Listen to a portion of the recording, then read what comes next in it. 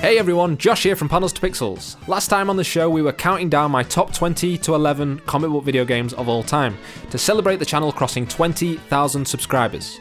If you haven't watched the first part of my list, then I highly recommend checking it out first, but you know, whatever, you do you. But this is it, the top 10, the creme de la creme of capes and consoles, sprites and spandex, panels to pixels, if you will. Before we launch into the list, I just want to remind you that this is based on my opinion and my opinion alone. If you disagree, well, that's great. Hell, let me know in the comments or on Twitter at Panels to Pixels. I can and will talk about this stuff all day. Okay, no more preamble, it's time for Carnage. Number 10 Spider Man and Venom Maximum Carnage. 1994's Spider Man and Venom Maximum Carnage is a side scrolling beat 'em up for the SNES and Mega Drive. Amazingly, it's one of the most faithful adaptations of a comic story to a video game, with panels ripped directly from the 14 part comic book crossover and used as cutscenes. And then there's the hard rock soundtrack. I have this recurring joke on the channel where the main theme from Maximum Carnage interrupts me during a video, and I say, Not now, Maximum Carnage! I'm not sure if anybody but myself finds it funny, but the real meaning behind it is that since Panels to Pixels first began a year and a half ago, I've been writing a video about Maximum Carnage that has become my magnum opus. At this point, I don't know if it will ever see the light of day, or if I'll just keep on saying, Not now, Maximum Carnage! But either way, I feel inextricably linked to this game, and it's a part of the channel's DNA.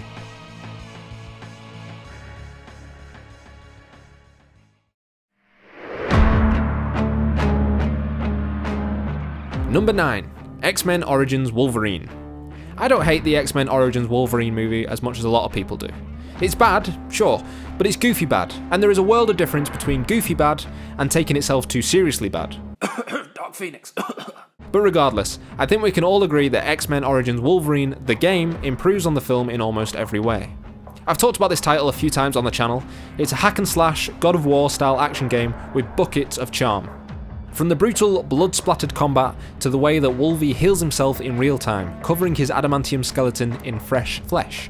Take on a 50 foot sentinel single handedly, or just admire the masterful voice acting by Hugh Jackman. Make no mistake, this is the ultimate Wolverine experience in video games, and if you haven't already, you owe it to yourself to play it.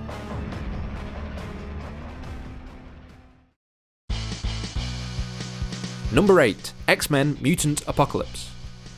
Another X Men game? Seriously?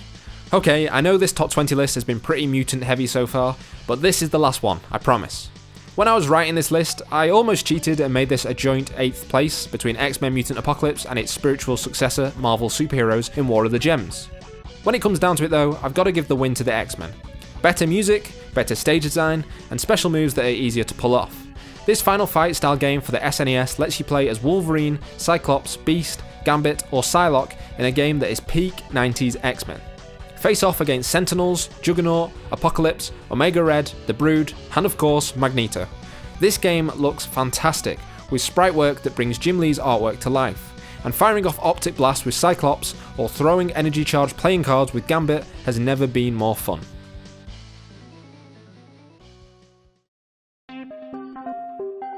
Number 7 Ultimate Spider Man.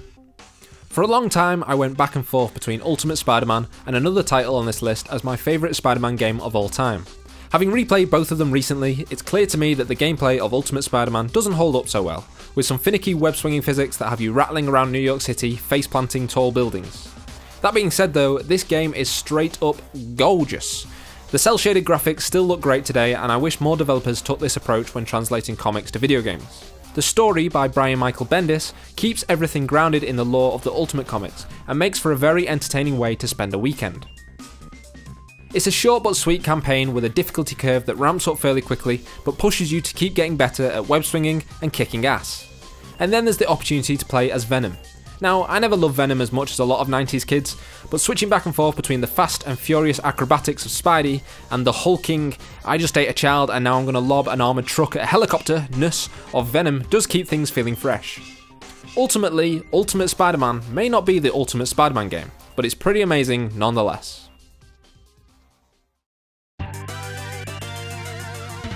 Number 6 Teenage Mutant Ninja Turtles Turtles in Time. Teenage Mutant Ninja Turtles, or Teenage Mutant Hero Turtles as it was for us in the UK, was a phenomenon that I just caught the tail end of as a kid. I remember having the t-shirts, the action figures, and even this dope pair of roller skates. But by the time I was watching cartoons on a regular basis, the Turtles had fallen out of favour and been replaced by the likes of Batman the Animated Series, X-Men, and Spider-Man. I actually didn't play Turtles in Time until a couple of years ago, having never owned an SNES growing up. But boy am I glad I sought this one out. The gorgeous visuals and big, beautiful sprites make you feel like you are actually playing the cartoon, and the characters literally leap out of the screen at you. well, almost literally. Some of the best music ever committed to the system, along with catchphrases that I quote on an almost daily basis, and perfectly balanced co op gameplay, make for a game that's perfect to enjoy with a few friends and some slices of Tsar. Cowabunga!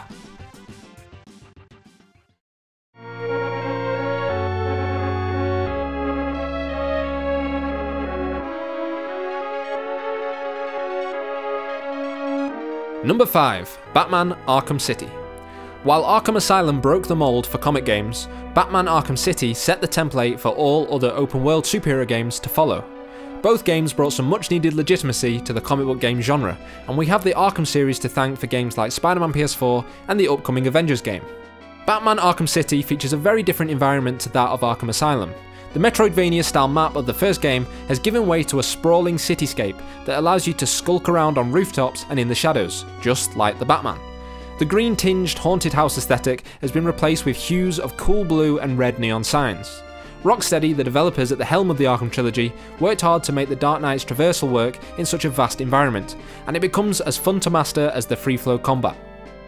The world building and environmental storytelling are so rich, with Easter eggs galore and hidden areas to explore.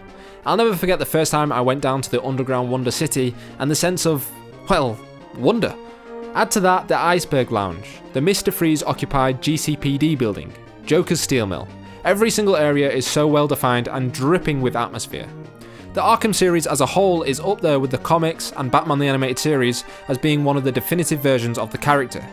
I can't think of another comic book hero who has been so well represented in video game form. Anyway, why am I wasting my time talking about this one?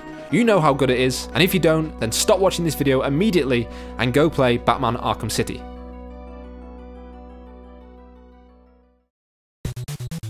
Number 4 Batman, NES version. Here's another Batman game that I've played more times than I could possibly remember. Seriously, I play this game on like a weekly basis.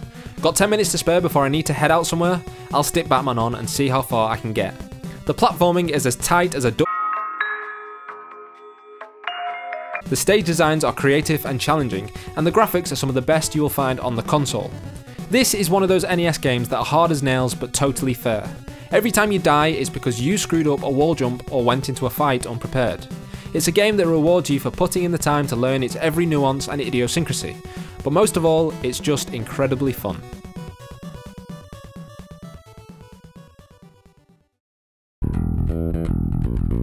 Number 3 Spider Man. 2000 Spider Man, developed by Neversoft, is about as close to a perfect video game as it gets. There's not a thing that I would change about it. It's bright and colourful and heavily stylised after the comics. It's full of Easter eggs, non stop action, and an all star cast of Spidey bad guys. And that soundtrack by Tommy Tallarico absolutely slaps. The 90s Spider Man cartoon was my gateway to not just the webhead himself, but comics in general. So, considering how much this game borrows its style and tone directly from the show, I'm probably a little biased. I would even go so far as to say that this is the closest we ever got to a Spider Man the Animated Series video game, putting aside the one for the Mega Drive and SNES, because it sucks. Rino Romano voices Peter Parker here, and he does an amazing job at capturing Christopher Daniel Barnes' voice from the animated series, but puts his own spin on things. It's an all time great Spidey performance, and often goes overlooked. It's fair to say that this game was the Arkham Asylum of its day, breaking new ground for superheroes in three dimensions. And as I said about X-Men Mutant Academy in the last video, it's hard to articulate just how mind-blowing it was to see a 3D Spider-Man game for the first time. Just imagine it, the last Spider-Man game you played was Maximum Carnage, and then this game comes out. I mean, come on, I thought I'd died and gone to heaven. Neversoft were also the studio behind one of my other favourite games of all time, Tony Hawk's Pro Skater 2. Spider Man felt like the first time that the developers behind a game really understood and cared for the comic book source material. It's the perfect distillation of everything I loved about Spidey growing up, and though the years have not been kind to the stiff controls and wonky camera, I don't see it ever being replaced as my favourite Spider-Man game of all time.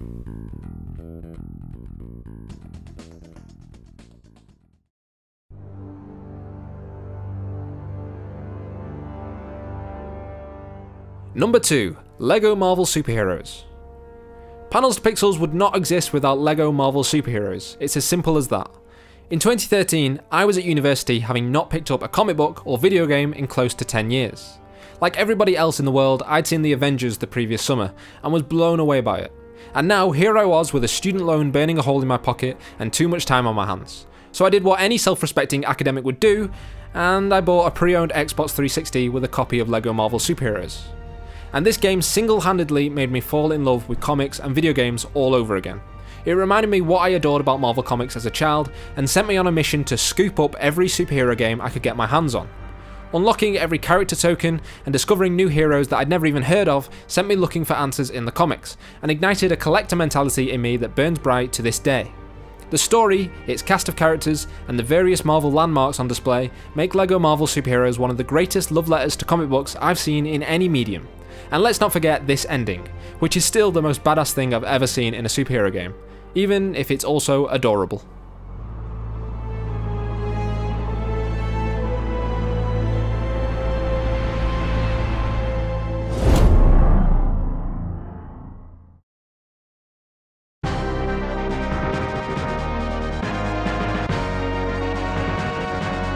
Number 1 Batman Arkham Asylum. Batman Arkham Asylum. Here it is, the one that changed everything. Some people prefer Arkham City, and I get that, but to me, Asylum is leaner, meaner, and the ultimate Batman experience.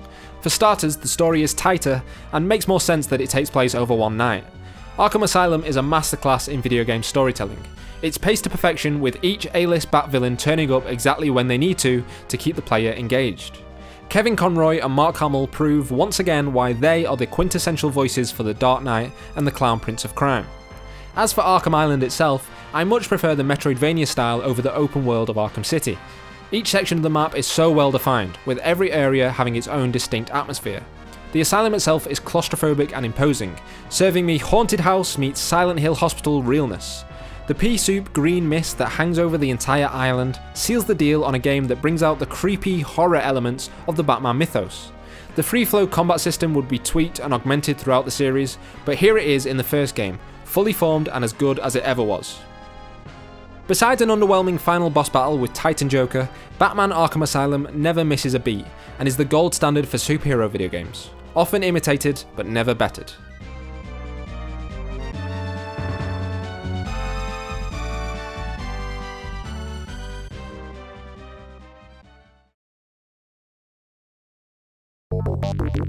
Phew, well there we have it. My top 20 comic book video games of all time. To be honest, the hardest part of this list was figuring out what to leave off. There are so many great games that didn't quite make the cut, and it probably would have been easier to do a top 50 list. Hey, maybe at 50,000 subscribers, you know what you've got to do. Thank you so much for watching this video and supporting the channel. If you want to see more stuff like this, then you should definitely subscribe to Panels Pixels, and don't forget to let me know in the comments if you agree with my list. Alright, take it easy, and I will see you in the next video. Bye bye!